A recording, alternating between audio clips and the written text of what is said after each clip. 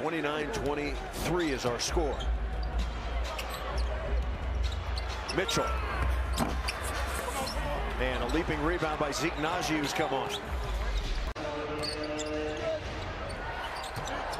Nnaji in on Gobert, lost it.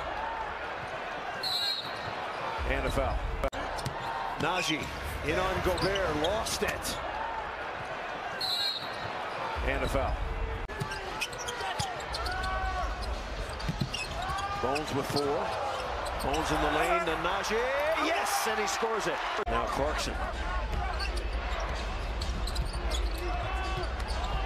Paschall inside, muscles at home. 13-2 dating back to the previous quarter.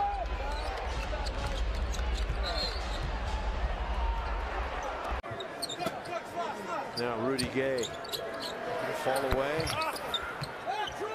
Nnaji the rebound.